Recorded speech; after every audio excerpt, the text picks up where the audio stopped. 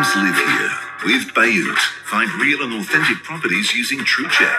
Download the app or visit bayut.com. As we come back to work after the summer work and school, can the massive rise that we saw before the hot months for ultra high end department uh, iron property continue? We are very pleased to be joined by Fibha Ahmed, who's the Director of Sales for Dubizzle and Bayut this morning. Fibha, good morning.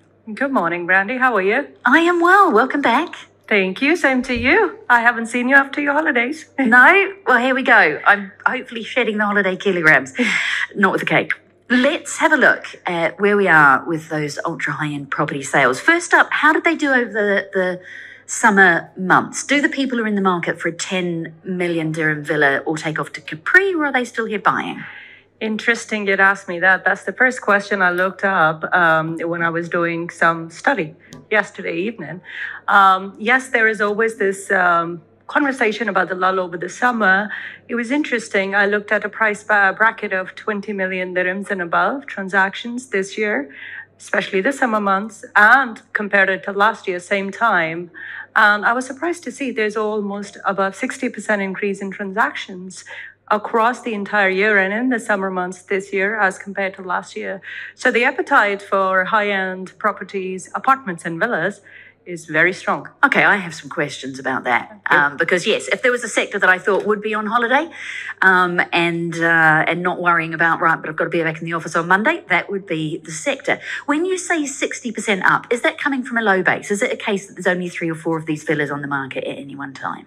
So interesting in absolute value and number as well. Uh, these are a lot more properties that transacted. Um, a very interesting mix is that last year for the 20 million dirham and above segment, we saw 60% apartment transactions, whereas this year we've seen 62 to 63% transactions in the villa communities. So yes, these people have the money and they are probably in Capri or if not in uh, Monaco, um, they have made up their mind that they want to have a base in uh, the UAE, in Dubai, and they want a piece of a villa. Um, thanks to the newly announced communities over the last 12 months uh, by Emaar and also um, by uh, Nakheel, Palm Jebel Ali, these two areas really stood out and had a lot of transactions um, in the segment of 20 million dirham um, and above. How much is that down to how much is available and when? Because, you know, one of the stories that we've heard from agents time and time again over the last couple of years is just that there's not, there's just not the stock of this stuff. Um, that is correct because uh, 70% of these transactions are off plan transactions. They are not for ready properties. These are not something that you can buy and live in it today. These are certainly uh, properties that are going to come into the market in the next three to four years. Uh, mind you, the two projects that I mentioned uh, very earlier on is um, are the ones that were announced not very uh, far in um, time. They were recent launches, especially Oasis by Emaar, I think about almost a year now. And they have started to come up with high end luxury uh, villa segments, which have garnered a lot of interest. So, yes, they cannot buy and live today, but certainly um, uh, you will have plenty of that in the next two to three years. What are you expecting to see in the last four to five months of, of this year? What projects that you know about that are, that are coming up are going to serve this segment? What I've noticed, and especially if we look at this segment, there are certain areas that have um, really piqued interest um, of people that have a lot of money to dish out.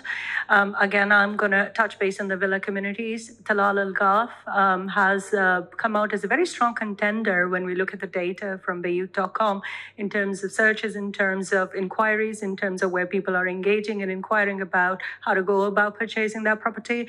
So I would say Tilal Al Ghaf is an area to keep an eye on. Then um, you should also uh, always keep an eye on Palm Jumeirah. For some reason, that one is not moving from the top position because it has a variety of your penthouses, super luxury, um, branded residences by Omniyat. Um, they are garnering a lot of interest and they're going to continue to have a lot of um, traction. And my personal favorite is uh, the Canal near Safa Park. Um, beautiful properties there that have come up, um, that have been announced and are transacting at a very healthy price point. It's interesting that you mention the the viewings that you can see. You can see what people are looking at on the Absolutely. Bayut platform.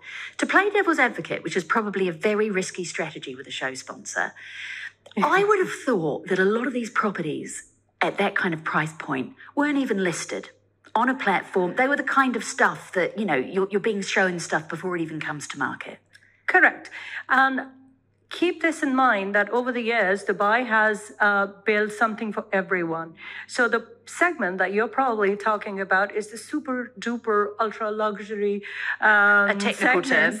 yes, that has been. Um, very, you know, specifically curated in terms of design, in terms of interior.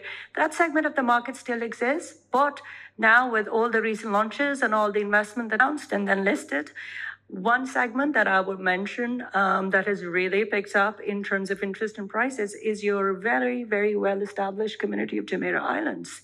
So, excuse me, there you would have seen uh, properties um, go up by 62% in the last 12 months. And that shows that there is an appetite for ready properties, there is an appetite for future properties that come to the market, but villa segment is the place to look for when you have that much money to spend. There you go. Fibha Ahmed, Director of Sales at Dubizzle and Bayut, joining us this morning, uh, talking about what that high end property segment has done over the summer months and a look forward. Thank you very much for your time this morning. Thank you, Brandy.